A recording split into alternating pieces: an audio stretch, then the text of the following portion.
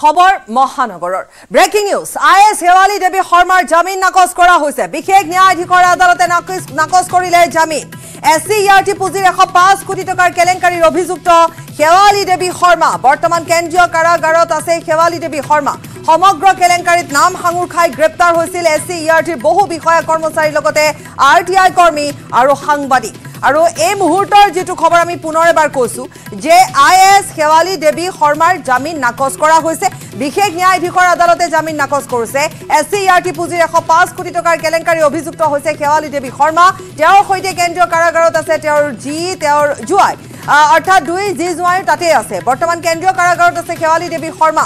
S C E R T কেলেংকাৰী মূল খলনায়িকা। সমগ্ৰ কেলেংকাৰীত নাম সাঙুৰ খাই গ্ৰেপ্তাৰ হৈছিল। এছ চি ইয়াৰ টিৰ বহু বিষয়া কৰ্মচাৰীৰ লগতে আৰ টি আই কৰ্মী আৰু সাংবাদিকো। কেইবাগৰাকীও সাংবাদিকো।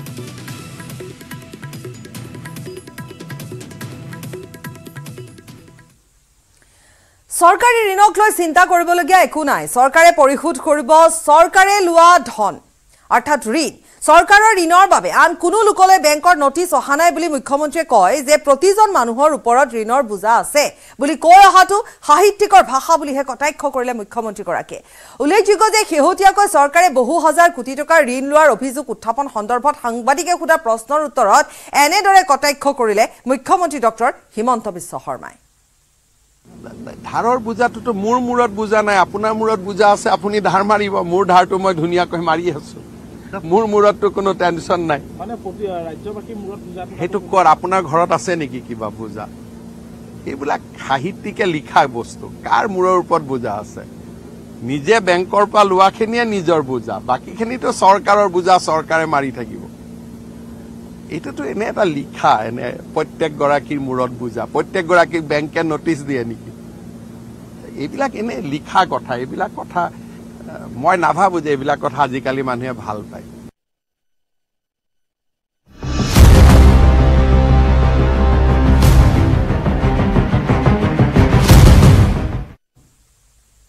পোহৰলৈ আহিছে ঢেকীয়াজুলিৰ শিশু নিৰ্যাতনকাৰী পৰিচয়।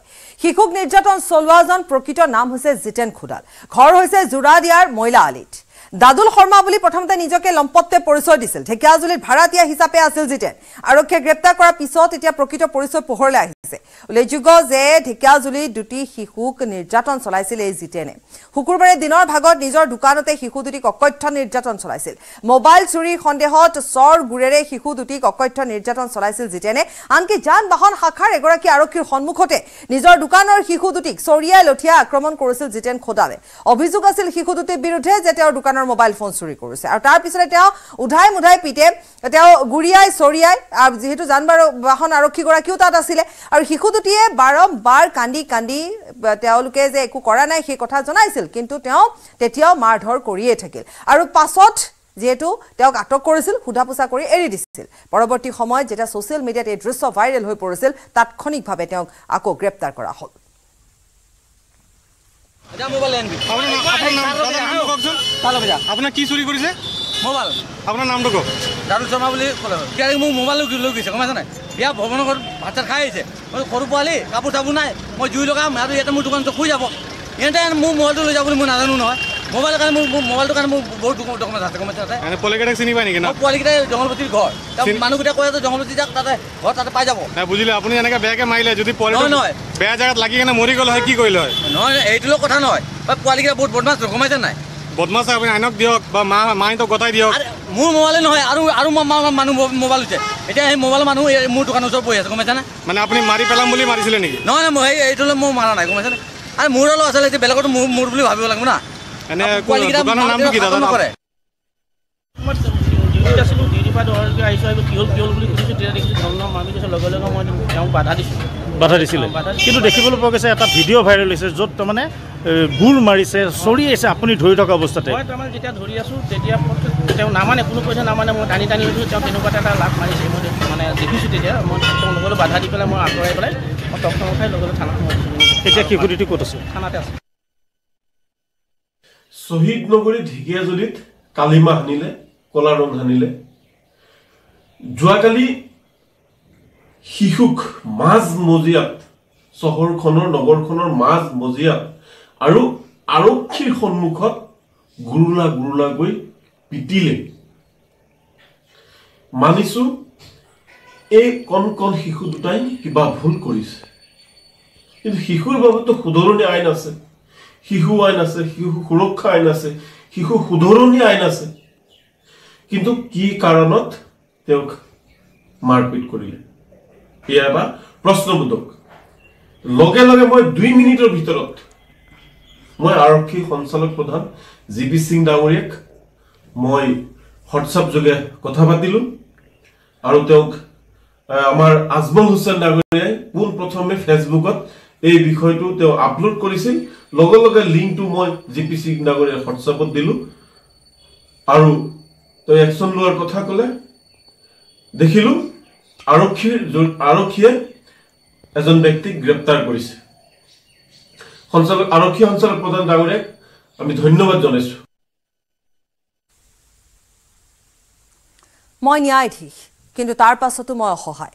কৰ্মক্ষেত্ৰত মোৰ ওপৰত যৌন নিৰ্যাতন হৈছে। মই নিজকে ন্যায় দিব পৰা নাই। আনক কেনেকৈ ন্যায় দিম? আদালত চলি থাকোঁতে মই নিগৃহীত হৈছোঁ। এগৰাকী জিলা বিচাৰপতিয়ে সাংগু পাংগুৰ সৈতে মিলি মোক যৌন নিৰ্যাতন চলাইছে। নিশা জিলা বিচাৰপতিৰ ঘৰলৈ অকলে যাবলৈ মোক বাৰম্বাৰ জোৰ দিয়া হৈছিল। বাৰম্বাৰ যৌন নিৰ্যাতনৰ বলি হোৱাৰ পিছতো আভ্যন্তৰীণ তদন্ত কমিটিত অভিযোগ দিও ন্যায় পোৱা নাছিল এগৰাকী ভুক্তভোগী ন্যায়াধীশে।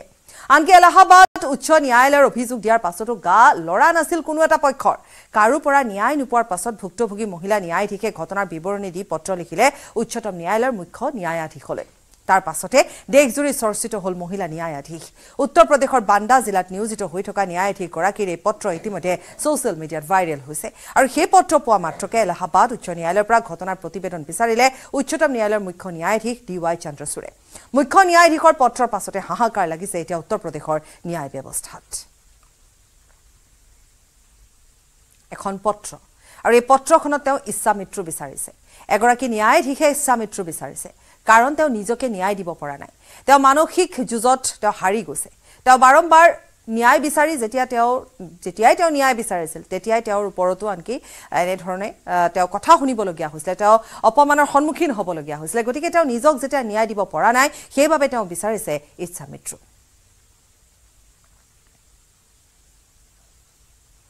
বি টি আৰ চৰকাৰৰ উন্নয়নৰ খতিয়ান দিলে বি টি আৰ প্ৰধান প্ৰমোদ বড়োৱে। বি টি আৰত প্ৰমোদ বড়ো চৰকাৰে তিনি বছৰ সম্পূৰ্ণ উপলক্ষে মহানগৰী হোটেল দিল্লীত আজি এক সংবাদমেলৰ আয়োজন কৰে।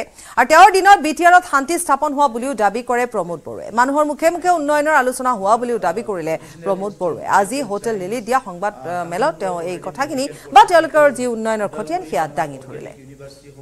ৰামফল বিলত এটা ইণ্ডাষ্ট্ৰিয়েল চেণ্টাৰ হ'বলৈ গৈ আহিছে। আহ, আমাৰ বডোফা উপেন্দ্ৰনাথ ব্ৰহ্ম এটা চেণ্টাৰ অফ এক্সিলেঞ্চ হ'বলৈ গৈ আছে। তেনেকুৱা বহুত important institutions N I T আমাৰ regional institute of medical science তামোলপুৰত already medical college হৈ গ'ল ওদালগুৰিত আমাৰ অৰ্গেনিক ইউনিভাৰ্চিটি হ'বলৈ গৈ আছে। এই গোটেই বিষয়খিনি আমি একৰ্ডত ৰাখিছিলোঁ। তো এই একৰ্ডৰ ইমপ্লিমেণ্ট হোৱাৰ লগে লগে এই ইনষ্টিটিউশ্যনবিলাক লাহে লাহেকৈ আমাৰ তাত ইমপ্লিমেণ্ট হ'ব। আৰু ইমপ্লিমেণ্ট হোৱাৰ লগে লগে আমাৰ অঞ্চলৰ ইনফ্ৰাষ্ট্ৰাকচাৰ যিটো গেপ সেইটো পূৰা হ'ব বুলি আমি আশা কৰিছোঁ। একৰ্ড ইমপ্লিমেণ্টেশ্যনৰ ক্ষেত্ৰত আমি প্ৰায় এইটি টু নাইণ্টি পাৰ্চেণ্ট সফল হোৱা বুলি ক'ব লাগিব যদিও হাণ্ড্ৰেড পাৰ্চেণ্ট হোৱা নাই। বহুতখিনি এড্ৰেছ হ'ল বাকীখিনি পেণ্ডিং আছে। সেইখিনিও আমাৰ মুখ্যমন্ত্ৰী ডক্টৰ হিমন্ত বিশ্ব শৰ্মা ডাঙৰীয়াৰ নেতৃত্বত খুব তেখেতে প্ৰএক্টিভ ৰোল লৈ পেলাই ইয়াত কোনো যিটো আমাৰ প্ৰচেছত কেতিয়াবা লেজি হয় বা কিবা হয় এইবিলাক তেখেতে কাটিং শ্বৰ্ট মানে ডাইৰেক্ট কৰি পেলাই বহুত কামবিলাক খুব ক্ষিপ্ৰতাৰে হৈ আছে। সেইকাৰণে এটাৰ পিছত এটা আমাৰ কামবিলাক ইমপ্লিমেণ্টেশ্যনটো হৈ গৈ আছে। আৰু বিশেষভাৱে যিটো আমাৰ মেইন প্ৰমিছ আছিলে সেই মেইন প্ৰমিছটো আছিলে যে বি টি আৰ অঞ্চলৰ ৰাইজে আমাক কিয় ভোট দিছিলে। যে য'ত বি পি এফৰ সোতৰ বছৰ শাসন চলি আছিলে they were also' regional party আৰু তেখেতসকলো মানে এটা সংগ্ৰামৰ দ্বাৰা অহা তেখেতসকলো ৰাইজৰ কাৰণে কিবা এটা চিন্তা কৰি চৰকাৰত আহিছিলে। তাৰ পিছত মানে কিয় এইটো ৰিপ্লেচ কৰিলে? এই ৰিপ্লেচ কৰাৰ মূল কথাটোৱে হৈছে বি টি আৰ অঞ্চলৰ মানুহবিলাকে খুব ছাফকেটেড ফিল কৰিছিলে। খুব এটা প্ৰেছাৰত থাকিব লগা তেনেকুৱা এটা ফিল কৰিছিলে। আৰু সকলো এটা লাইক গ্লুমি চিটুৱেশ্যন কি আনচাৰ্টেন কমপ্লিটলি আনচাৰ্টেন এটা দেখিবলৈ পাইছিলে। আৰু ডাঙৰ কথাটো হৈছিলে যে পলিচি ভেকাম। কাউন্সিল গভৰ্ণমেণ্টৰ কোনো পলিচি বোলা কোনো বিষয় নাছিলে তেখেতসকলৰ। না প্লেনিং এণ্ড পলিচি বোলা একো নাছিলে মানে। চাৰি বছৰীয়া শিশুৱে গিলিলে এয়াৰগানৰ তিনিটাকৈ গুলী। শিশুটিৰ ঘৰ নগাঁও চামগুৰি কাৱৈমাৰী। চিকিৎসাৰ অন্তত ঘৰলৈ উভতিল শিশুটি। মহানগৰী এখন হাস্পতালত চিকিৎসাধীন হৈ আছিল কণমানি শিশুটি। বৰ্তমান তেওঁ সংকটমুক্ত। কিন্তু এইকেইটা সময়ছোৱাত এই সময়ছোৱাত যেতিয়াৰ পৰা তেওঁ সেই গুলী গিলিছিল দুটা যিহেতু ওলাই গৈছিলে আৰু এটা থাকি গৈছিলে আৰু সেই সময়ছোৱাত তেওঁ বিভিন্ন ৰোগত আক্ৰান্ত হৈছিল। পাকস্থলীত যিহেতু এই এটা গুলী আবদ্ধ হৈ আছিল। চিকিৎসকে অস্ত্ৰোপচাৰ কৰি সুকলমে শিশুটিৰ দেহৰ পৰা গুলীটো উলিয়ালে আৰু বৰ্তমান শিশুটি সংকটমুক্ত বুলি চিকিৎসকে জানিবলৈ দিছে। তেতিয়া ধৰক এই ইয়াৰগান কেতিয়াবা আহে কেৰ্কেটুৱা মাৰিবলৈ। তেতিয়া চাওক গুলি মানে মাটিত পৰিলে। সেইটো আপোনাৰ ল'ৰাটো খেলি থাকে দুই তিনিটা পাই গ'লে মুখত ল'লে। পিছত সোমাই গ'ল ভিতৰত। এই নমাহমান আগত। পিছত লৈ আহিলোঁ। এইটো লৈ আহিলোঁ সোমবাৰে। আনাৰ পাছত ছাৰে ক'লে হ'ব বাৰু হৈ যাব। অপাৰেশ্যন নোহোৱাকৈ কামটো কৰি দিলে ছাকচেছ হৈ গ'ল। জানুৱাৰীত আলোচনাপন্থী আলফাৰে সম্পন্ন হ'ব চৰকাৰৰ চুক্তি। আলোচনাপন্থী আলফাৰে চুক্তিৰ পাছত আৰম্ভ হ'ব আলফা স্বাধীনক লৈ আলোচনালৈ অনাৰ প্ৰক্ৰিয়া। বৃহস্পতিবাৰে নতুন দিল্লীত এই মন্তব্য কৰিলে মুখ্যমন্ত্ৰী ডক্টৰ হিমন্ত বিশ্ব শৰ্মাই। যোৰহাটৰ বিস্ফোৰণক লৈ প্ৰথম প্ৰতিক্ৰিয়া মুখ্যমন্ত্ৰী ডক্টৰ হিমন্ত বিশ্ব শৰ্মাৰ। দুই তিনিটা গ্ৰেনেড নিক্ষেপ কৰিলে অসম স্বাধীন নহয়। বিপৰীতে অসমৰ ক্ষতি হ'ব। আলফা স্বাধীনৰ সদস্যই গ্ৰেনেড লৈ অসমত প্ৰৱেশৰ তথ্য আছে গৃহ বিভাগৰ হাতত। শান্তি চুক্তিখন সম্পূৰ্ণ এটা ড্ৰাফ্ট আদি ৰেডি হৈ আছে কিন্তু ফাইনেল টাচ কিছুমান বাকী আছে। গতিকে জানুৱাৰী নতুন বছৰতে হওক বা বছৰৰ শেষত হওক প্ৰটক আলফাৰ লগত আমি চুক্তিখন সমাপ্ত কৰিব খুজিছোঁ।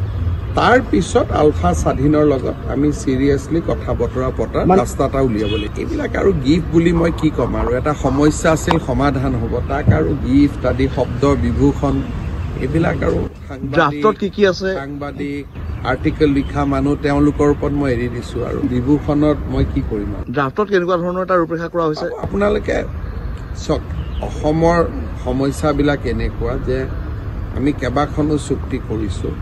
কাম বহুতবোৰ আগবাঢ়ি আছে। গতিকে বিশেষকৈ আলফাৰ যিটো প্ৰটক আলফাৰ যিটো চুক্তি তাতে বেচিকেলি ক্লজ ছিক্সৰ বিভিন্ন ইছ্যুৱে প্ৰাধান্য পাব। কাৰণ অসমীয়াৰ বা অসমবাসীৰ যিটো সংৰক্ষণ বা আমাৰ যিটো ৰক্ষণাবেক্ষণ সেইটো এটা ইছ্যু।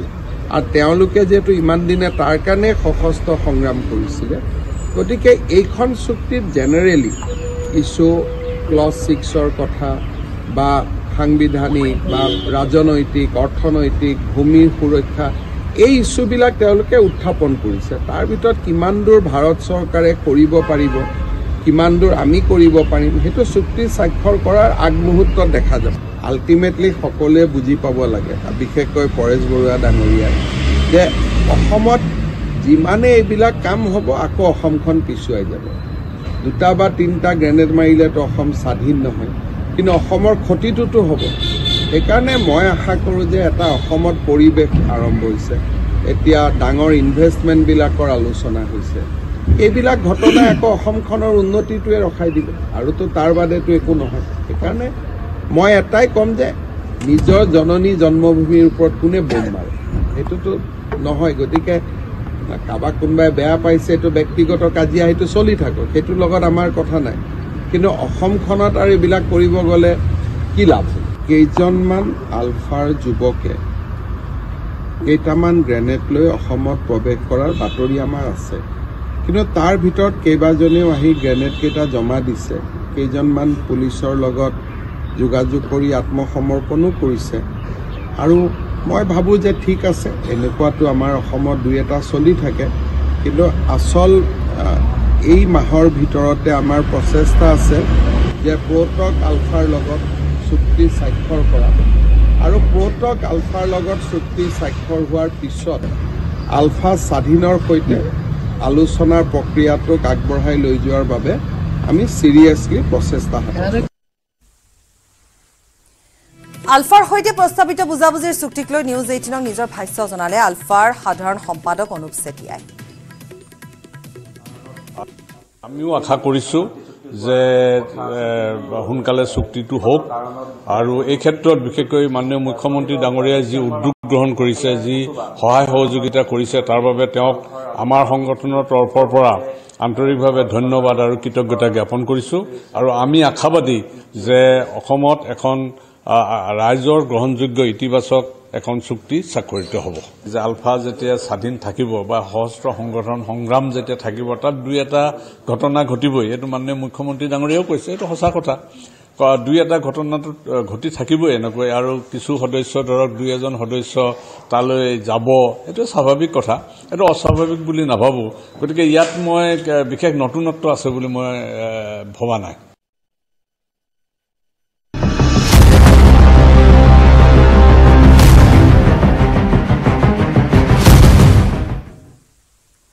যোৰহাটৰ লিচুবাৰীত বিস্ফোৰিত হৈছিল গ্ৰেনেড।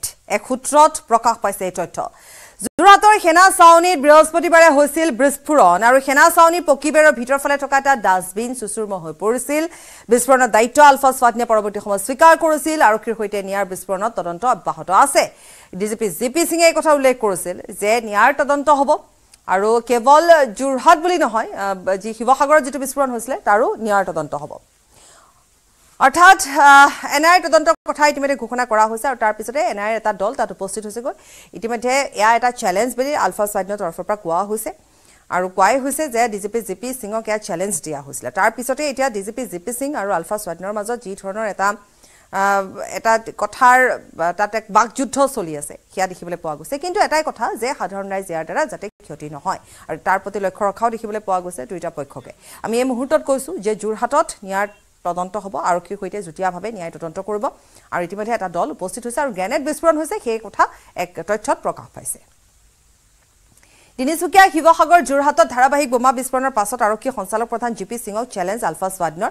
সংবাদ মাধ্যমলৈ কেপ্টেইন ৰুমেল অসম স্বাক্ষৰিত পত্ৰ প্ৰেৰণ কৰি জি পি সিঙক প্ৰত্যাহ্বান জনালে আলফা স্বাধীনে। আৰু এই পত্ৰখনত লিখা আছে যে আপুনি যি- ধৰণৰ সুৰক্ষা ব্যৱস্থাৰ মাজত থাকে নিৰাপত্তাৰক্ষী সেয়া সলাই পেলাওক। আৰু নিৰাপত্তাৰক্ষী নোহোৱাকৈ আপুনি দুদিন টহল দি চাওক। এনেকুৱা ধৰণৰ কিছু কথা লিখা আছে আৰু বহুখিনি দীঘলীয়া এক- পত্ৰ য'ত তেওঁক চেলেঞ্জ কৰি লিখা আছে।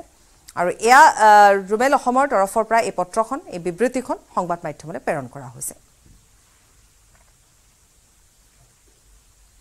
প্ৰয়াত নাট্যশিল্পী শুক্ৰাচাৰ্য ৰাভাই প্ৰাণ প্ৰতিষ্ঠা কৰা বাদুং দুপ্পা কলা কেন্দ্ৰত শুকুৰবাৰৰ পৰা তিনিদিনীয়া কাৰ্যসূচীৰে অনুষ্ঠিত হৈছে চতুৰ্দশ under the Sal tree twenty twenty three আন্তঃৰাষ্ট্ৰীয় নাট সমাৰোহ।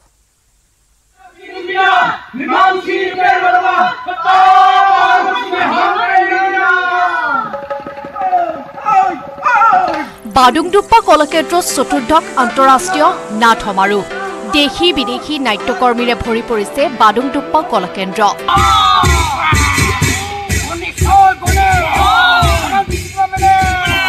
শালগছৰ তলত মুকলি মঞ্চত অনুষ্ঠিত হৈছে ইখনৰ পিছত সিখন ভিন্ন ভাষাৰ নাটক। প্ৰয়াত নাট্যশিল্পী শুক্ৰাচাৰ্য ৰাভাৰ প্ৰাণ প্ৰতিষ্ঠা কৰা বাডুংডুপ্পা কলাকেন্দ্ৰত শুকুৰবাৰে আৰম্ভ হয় আন্তঃৰাষ্ট্ৰীয় নাট সমাৰোহ। দেওবাৰলৈ তিনিদিনীয়াকৈ চলিব এই নাট সমাৰোহ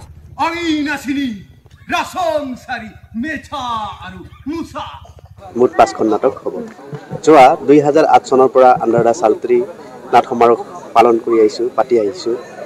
ইয়াত মানে সদায় দৰ্শক ৰাইজৰ সহায় সহযোগিতা আৰু ইয়াত ছাপৰ্ট কৰি আহিছে। আমি বাদুংডুপা পৰিয়ালে সদায় কৃতজ্ঞ।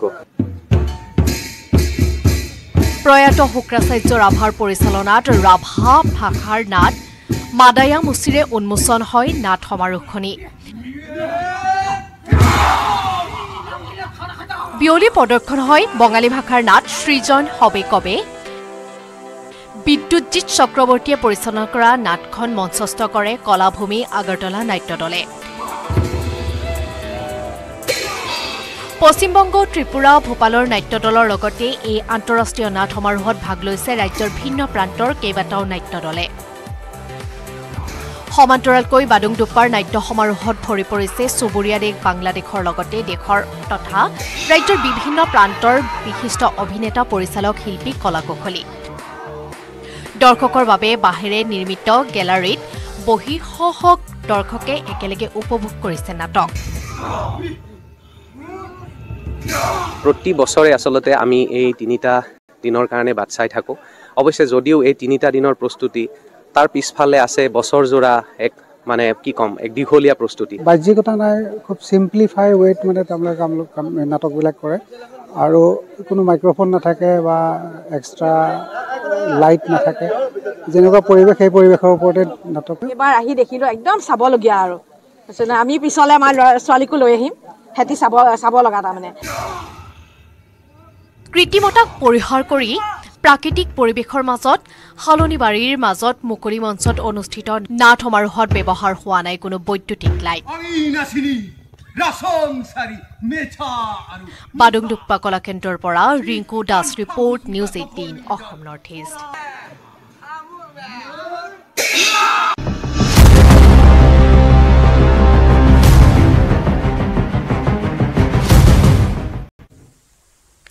ADC Sukanya বৰাৰ গুপ্তধনৰ সন্ধানত তদন্তকাৰী দল। সুকন্যাৰ দুটাকৈ বেংক একাউণ্টত জমা আছে এক কোটি টকা। এক কোটিতকৈ অধিক আছে। এতিয়াও তথ্য আহিবলৈ বাকী আছে। পঞ্জাৱ নেশ্যনেল বেংকৰ পৰা গৃহ বিভাগৰ অনুমোদন পালেই শীঘ্ৰে গ্ৰেপ্তাৰ হ'ব নিলম্বিত এডিচি সুকন্যা বৰা। চাকৰিৰ পৰাও শীঘ্ৰে বৰ্খাস্ত হ'ব। এতিয়ালৈকে চাকৰিৰ পৰা বৰ্খাস্ত হোৱা নাই সুকন্যা বৰা। চি এম ভিজিলেন্সৰ তদন্তত সহযোগিতা কৰা নাছিল। এগৰাকী অতি চতুৰ বিষয়াই। জেৰাত তদন্তকাৰী বিষয়াক ধমকত কান্দি কান্দি বহু কথাই ক'লে সুকন্যাই। ইতিমধ্যে সুকন্যাৰ বিৰুদ্ধে চলি আছে দুটাকৈ বিভাগীয় তদন্ত। সুকন্যাই প্ৰথমে সম্পত্তি ক্ৰয় কৰে পিতৃৰ নামত। পৰৱৰ্তী সময়ত সেই সম্পত্তি দেউতাকৰ পৰা উপহাৰ হিচাপে নিজৰ নামত কৰি লয় সুকন্যাই। ইমানেই চতুৰ সুকন্যা। পাছপৰ্ট সন্দৰ্ভত ব্যুৰ' অৱ ইমিগ্ৰেশ্যনলৈ পত্ৰ প্ৰেৰণ কৰিছে চি এম ভিজিলেন্সে। বৰ্তমান গুৱাহাটী এৰি অন্য ঠাইলৈ সুকন্যা যাব নোৱাৰিব। আৰু অতি শীঘ্ৰে হয়তো গ্ৰেপ্তাৰ হ'ব সুকন্যা। আৰু সুকন্যাৰ যি অধ্যায় পোহৰলৈ আহিছে সেই বহু কুকাণ্ড এতিয়া লাহে লাহে পোহৰলৈ আহিছে সুকন্যাৰ আৰু এই কুকাণ্ড সম্পত্তিৰ লোভত কেনেকৈ নিজৰ মাতৃক মানসিক ৰোগী সজাইছিল সুকন্যাই? মাতৃক এখন মানসিক ৰোগী থকা মাতৃক এক চিকিৎসালয়ত ভৰ্তি কৰোৱাই থৈছিলে। নলবাৰী এখন মানসিক চিকিৎসালয়ত ভৰ্তি কৰোৱা আছিলে। পিছত ঘৰৰ পৰা ভাতৃকো উলিয়াই দিছিল। এগৰাকী সুকন্যাই বিভিন্ন প্ৰকাৰে সুকন্যাই নিজৰ নামত হস্তগত কৰিছিল মাটি সম্পত্তি কেৱল ধন সম্পত্তিতে সন্তুষ্ট নাছিল। ক্ষমতাৰ বাবেও সকলো পৰ্যায় পাৰ কৰিব পাৰিছিল সুকন্যাই। বিভিন্ন শীৰ্ষ পৰ্যায়ৰ বিষয়াৰ সৈতে তেওঁৰ ঘনিষ্ঠ সম্পৰ্ক আছিল। আৰু এতিয়া সকলোবোৰ লাহে লাহে খোল খাইছে সুকন্যা বৰাৰ। আৰু সুকন্যা অতি সোনকালে গ্ৰেপ্তাৰ হোৱাৰ সম্ভাৱনা আছে। আৰু যিহেতু সুকন্যাই অতি চতুৰ আছিল আমি কৈছোৱে যে তেওঁ যিহেতু কথা কোৱা নাছিলে মুখ খোলা নাছিলে। আৰু ক'ত ক'ত সুকন্যাই ক'ত ক'ত তেওঁ ধন ব্যয় কৰে তেওঁ ইমান টকা ইমান সম্পত্তি বিলাসী ফ্লেটত এতিয়া কোটি কোটি টকাৰ সামগ্ৰী উদ্ধাৰ হৈছে যিবোৰ তেওঁ বাহিৰৰ পৰা আনে। কাৰণ তেওঁ বেছিভাগ ধন বাহিৰত ফুৰিবলৈ যোৱাতে তেওঁ ব্যয় কৰে। লাখ টকীয়া আমদানিকৃত বাচন বৰ্তন যিসমূহৰ লাখ টকা S B I H D F C আৰু পি এন বি তেওঁৰ একাউণ্ট আছে আৰু পঞ্জাৱ নেশ্যনেল বেংকৰ তথ্য আহিবলৈ বাকী আছে বাকী দুটাত এক কোটিতকৈ অধিক টকা আছে। কিন্তু ইয়াৰ উপৰিও অতিকৈ লজ্জানত কৰা এটা বিষয় হৈছে যে তেওঁ নিজৰ মাতৃক মানসিক ৰোগী সজাইছিল আৰু তেনেধৰণে মানসিক ৰোগী হিচাপে নলবাৰীত থকা এখন মানসিক চিকিৎসালয় তাত ভৰ্তি কৰোৱা হৈছিলে। তেওঁ প্ৰথমতে এই ভূমিসমূহ পিতৃৰ নামত ক্ৰয় কৰে আৰু পিতৃৰ পৰা উপহাৰ হিচাপে পোৱা বুলি তেওঁ উল্লেখ কৰে কাগজে পত্ৰই নথি পত্ৰই গতিকে এনেধৰণে স্মাৰ্ট সুকন্যাই তেওঁ এই যি কুকাণ্ড সেয়া চলাই গৈছিল।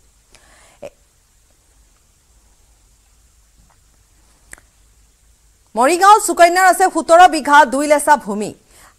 নগাঁও আমিনগাঁও আৰু গুৱাহাটী মহানগৰীত আছে বিশাল মাটি সম্পত্তি। গুৱাহাটীৰ হাতীগাঁও দক্ষিণ শৰণীয়া জয়ানগৰ কাহিলীপাৰাত বিশাল মাটি সম্পত্তি আছে। দেশৰ বিভিন্ন প্ৰান্তত অৱসৰ বিনোদনত সুকন্যাই ব্যয় কৰিছে বৃহৎ পৰিমাণৰ ধন। জয়ানগৰৰ বিলাসী ফ্লেটৰ পৰা চি এম ভিজিলেন্সে এতিয়া আমি কোটি কোটি টকাৰ সামগ্ৰী উদ্ধাৰ কৰিছে যিবোৰ সামগ্ৰী তেওঁ ক্ৰয় কৰিছে আৰু তেওঁৰ যিখিনি মেখেলা চাদৰ আছে সেয়াও আনকি লাখ টকাৰ ওপৰ মেখেলা চাদৰ লাখ টকীয়া মেখেলা চাদৰ তেওঁ ক্ৰয় কৰে সেয়াও জব্দ কৰিছে। আমদানিকৃত যিসমূহ বাচন আছে বাহিৰৰ পৰা যিখিনি বাচন আছে সেইসমূহৰ মূল্যও লাখ টকা সেয়াও ইতিমধ্যে চি এম ভিজিলেন্সে জব্দ কৰিছে। কিন্তু সুকন্যাই আৰক্ষীক এতিয়ালৈকে কোনো বেংক লকাৰৰ তথ্য নাই দিয়া।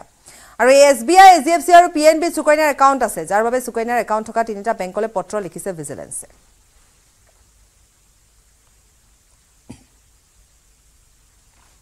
সংসদ কাণ্ডৰ তদন্তত ফাদিল হৈছে চাঞ্চল্যকৰ তথ্য। কেৱল আক্ৰমণ কৰাই নহয় সংসদৰ ভিতৰত আত্মজাহাৰো পৰিকল্পনা কৰিছিল মাষ্টাৰজীয়ে বিশেষ তদন্তকাৰী কোষৰ জেৰাত ওলাইছে এতিয়া বিস্ফোৰক তথ্য।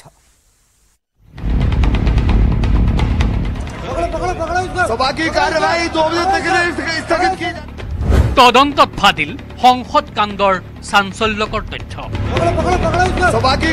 আত্মজাহৰ পৰিকল্পনা কৰিছিল মাষ্টাৰজীয়ে। সংসদৰ বাহিৰে ভিতৰে আত্মজাহৰ বাবে সাজু হৈছিল মাষ্টাৰজীৰ টীম। সাগৰ শৰ্মা মনোৰঞ্জন টি নীলম দেৱী আৰু অমল সিন্ধে। কিন্তু তেৰ ডিচেম্বৰৰ পুৱা সংসদ কাণ্ডৰ বাবে সাজু হোৱাৰ পাছত অভিযুক্ত কেইজনে বিচাৰি নাপালে বিশেষ এবিধ জেলৰ কেইবাটাও টিউব। যি জেল ঘঁহি জুই লগাই দিলেও বিশেষ একো ক্ষতি নহয় মানৱ শৰীৰত। লুকুৱাই থোৱা জেলৰ টিউবকেইটা নোপোৱা বাবেহে প্লেন বি কাৰ্যকৰী কৰিলে পাঁচ অভিযুক্তই দিল্লী আৰক্ষীৰ বিশেষ তদন্তকাৰী কোষৰ জেৰাত এই ভাষ্য মাষ্টাৰজী ওৰফে ললিত মোহন ঝাৰ। মাৰাথন জেৰাত বাৰে বাৰে ভাষ্য সলাইছে মাষ্টাৰজীয়ে।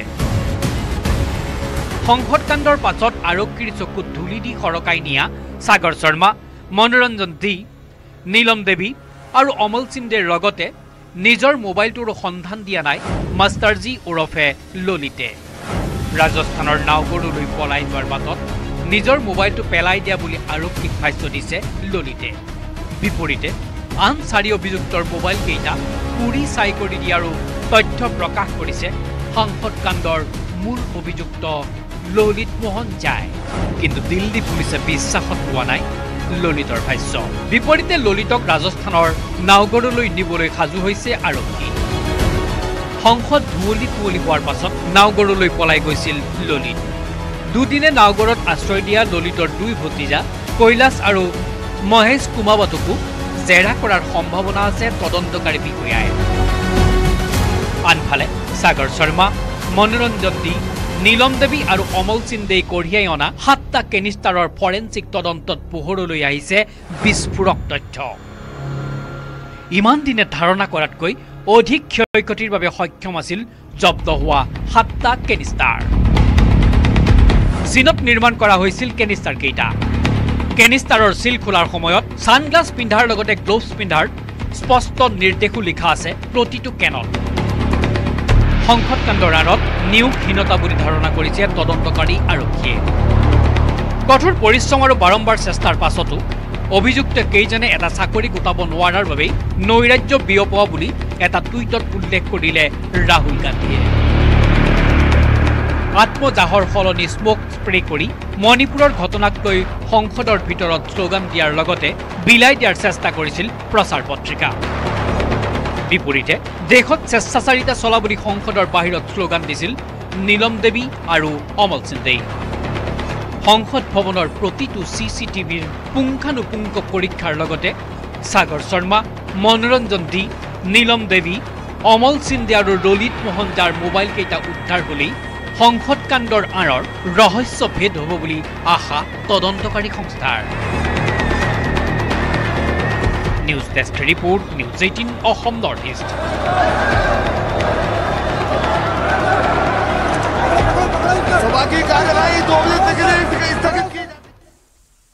প্ৰেমিকাৰ ওপৰেৰে গাড়ী চলালে পাষাণ প্ৰেমিকে। প্ৰথমে নিৰ্যাতন তাৰ পিছত সংঘটিত কৰিলে ভয়ংকৰ ঘটনা। মহাৰাষ্ট্ৰৰ থানেৰ ৰাজপথত ঘটিল এই ঘটনাটো। অভিযুক্ত যুৱকজন অশ্বজিত গায়কৱাৰ্ড পাষাণ প্ৰেমিক। প্ৰেমিকাৰ দেহৰ ওপৰেৰে চলালে গাড়ী। ৰাজপথত ছটপটাই থকা প্ৰেমিকাৰ কাটৰ আহ্বান শুনেউচি ঘটনাস্থলীৰ পৰা পলায়ন কৰিলে পাষাণ প্ৰেমিকে। প্ৰথমে বন্ধুৰ দ্বাৰা নিৰ্যাতন। তাৰ পাছত প্ৰেমিকাৰ চুলিত ধৰি টনা আঁচোৰা ডিঙি চেপা। আৰু তাৰ পাছত প্ৰেমিকাৰ ওপৰেৰেই গাড়ী চলাবলৈ নিৰ্দেশ গাড়ী চালকক। মহাৰাষ্ট্ৰৰ থানেৰ ঘটনা এয়া। পাঁচদিন পূৰ্বৰ ঘটনা। সোমবাৰে পুৱতি নিশা অশ্বজিত গায়কৱাড নামৰ এটা পাষাণ প্ৰেমিকে সংঘটিত কৰে এই ঘটনা। বৰ্তমান হাস্পাতালৰ বিচনাত ছটপটাই থকা প্ৰিয়া সিঙৰ ভাষ্যত পোহৰলৈ আহিল থানেৰ এই বৰ্বৰ ঘটনাৰ কথা। পাঁচ বছৰীয়া প্ৰেম আছিল অশ্বজিত গায়কৱাড আৰু প্ৰিয়া সিঙৰ মাজত। অশ্বজিত মহাৰাষ্ট্ৰ ৰাজ্য উন্নয়ন নিগমৰ পৰিচালন সঞ্চালক অনিল গায়কৱাডৰ পুত্ৰ। ঘটনা সংঘটিত হোৱাৰ দিনা পুৱা চাৰি বজাতে অশ্বজিতে ফোন কৰিছিল প্ৰিয়া সিঙক। পৰিয়ালৰ কোনো অনুষ্ঠানৰ বাবে নিমন্ত্ৰণ জনাইছিল হোটেল থানেলৈ। কিছু সময়ৰ পাছতে প্ৰিয়া সিং উপস্থিত হৈছিলগৈ হোটেলখনত। কিন্তু পৰিয়ালৰ অনুষ্ঠান চলি থকাৰ মাজতো প্ৰিয়া সিঙে লক্ষ্য কৰিছিল অশ্বজিতৰ অস্বাভাৱিক আচৰণ। প্ৰেমিকৰ কিবা অসুবিধা হোৱা বুলি অনুমান কৰি নিজে হোটেলৰ বাহিৰলৈ আহি প্ৰিয়াই অশ্বজিতক সুধিব বিচাৰিছিল আচলতে কি হৈছে? কিন্তু অশ্বজিত কেৱল নিজে নাহি লগত লৈ আহিছিল বন্ধু বান্ধৱক আৰু আহিয়ে অশ্বজিতৰ বন্ধু বান্ধৱে প্ৰিয়াক নিৰ্যাতন চলাবলৈ আৰম্ভ কৰে। হঠাতে সংঘটিত হোৱা অপ্ৰত্যাশিত ঘটনাত হতবম্ব হৈ প্ৰিয়াই অশ্বজিতক সহায়ৰ বাবে আহ্বান জনাই যদিও ভণ্ড প্ৰেমিক অশ্বজিতে ওলোটাই প্ৰিয়াক চৰিয়াই ডিঙি চেপি আক্ৰমণহে কৰে। পৰিস্থিতিৰ অৱনতি ঘটাত প্ৰিয়াই অশ্বজিতৰ গাড়ীত থকা নিজৰ মোবাইল ফোনটো লৈ আঁতৰি যোৱাৰ চেষ্টা কৰে। কিন্তু সেই সময়তে অশ্বজিতে নিজৰ গাড়ী চালকক প্ৰিয়াৰ ওপৰেৰে গাড়ী চলাই দিবলৈ নিৰ্দেশ দিয়ে। আৰু অশ্বজিতৰ গাড়ীৰ খুন্দাত পথত পৰি ৰয় প্ৰিয়া সিং। প্ৰিয়া সিঙক তাতে এৰি আঁতৰি যায় ভণ্ড প্ৰেমিক অশ্বজিতসহ বন্ধু বান্ধৱৰ দলটো। পৰৱৰ্তী সময়ত পথাচাৰীয়ে উদ্ধাৰ কৰে প্ৰিয়া সিঙক। শেহতীয়াকৈ প্ৰিয়া সিঙে হস্পিতালৰ বিচনাৰ পৰা কৰা ইনষ্টাগ্ৰাম পোষ্ট তথা ফটোৰ জৰিয়তেহে পোহৰলৈ আহে সমগ্ৰ ঘটনা। ইনষ্টাগ্ৰাম পোষ্টৰ জৰিয়তে প্ৰিয়া সিঙে ন্যায় বিচাৰিছে। থানে আৰক্ষীয়ে ঘটনাৰ তদন্ত অব্যাহত ৰাখিছে। প্ৰিয়া সিং এতিয়া সুস্থিৰ যদিও প্ৰিয়াৰ আঘাত আছিল গুৰুতৰ। অতি কমেও তিনি চাৰি মাহ বিচনাতে থাকিব লাগিব প্ৰিয়া সিং। প্ৰিয়া সিঙৰ সমগ্ৰ শৰীৰতে আঘাত। সোঁভৰিৰ হাড় দুটুকুৰা হৈ ভাঙিছে ইতিমধ্যে অস্ত্ৰোপচাৰ সম্পন্ন হৈছে। প্ৰিয়া সিঙৰ এটাই দাবী তাইক ন্যায় লাগে। ভণ্ড প্ৰেমিক তথা মহাৰাষ্ট্ৰৰ উচ্চ খাপৰ আমোলাৰ পুত্ৰ অশ্বজিতে উচিত শাস্তি পাব লাগে। আৰু মহাৰাষ্ট্ৰৰ এগৰাকী জ্যেষ্ঠ আমোলাৰ পুত্ৰৰ এনে অমানৱীয় কাণ্ডই হতচকিত কৰি তুলিছে সকলোকে। News desk report news eighteen Assam north east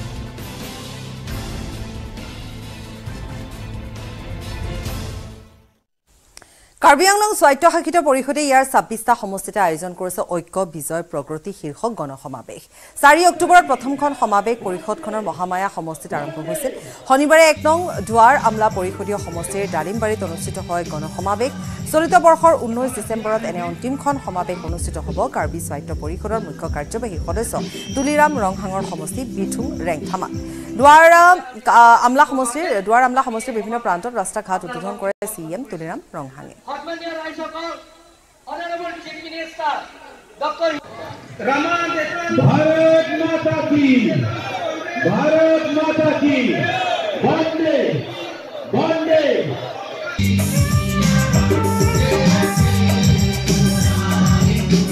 hala jiya hai ji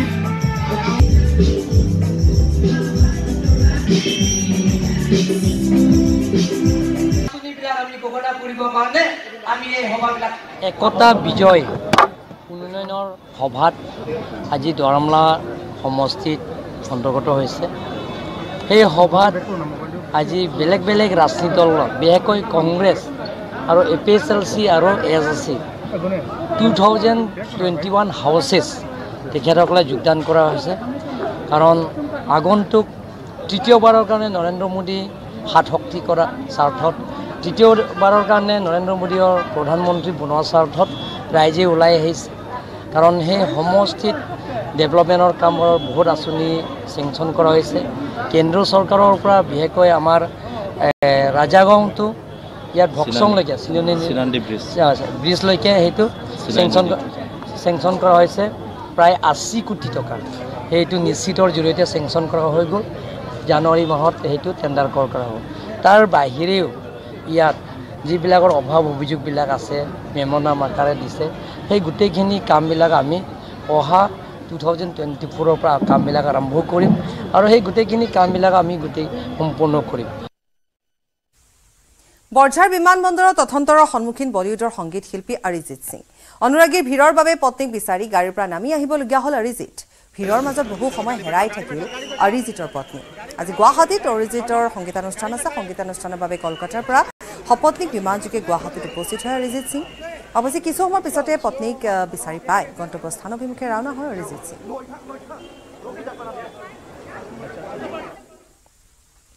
ইয়াৰ সৈতে বাতৰিৰ পৰা বিদায় লৈছোঁ। নমস্কাৰ। ভাৰতৰ গৌৰৱ গোটেই বিশ্বতেই ইয়াৰ সন্মান ষ্ট্ৰং মানে মাইথান ষ্টীল।